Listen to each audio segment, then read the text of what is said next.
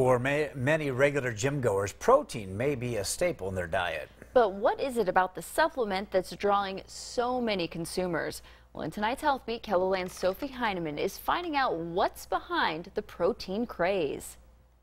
Protein shakes, protein bars, and protein supplements. Protein is everywhere these days, but what exactly is it? Protein is um, important for muscles, bone, hair, skin, and it actually um, turns over. So there's lots of enzymes that it's needed. It's needed for hormones.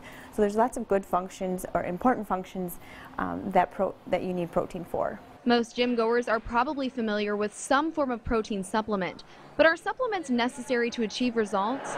Yeah, I wasn't gaining any weight.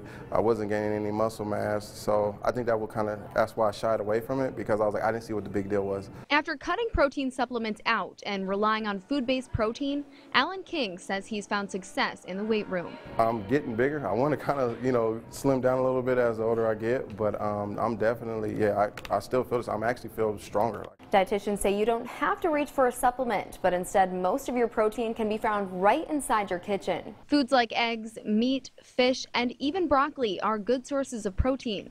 But Krogstad says it shouldn't all come from the same meal. Let's say you went and had a 10 ounce steak. Your body is actually not able to absorb all that protein and then the excess is just excreted through the urine. She says aim for about 20 to 30 grams of protein per meal. A 10 ounce steak can have almost triple that amount. And the excess protein can become excess calories. You really need to space your protein intake throughout the day because your body physically can't absorb all the protein that it needs at one time. So instead of drinking your dinner in a shake or consuming a small bar, consider a meal that offers your body the nutrients it needs. With HealthBeat, I'm Sophie Heineman.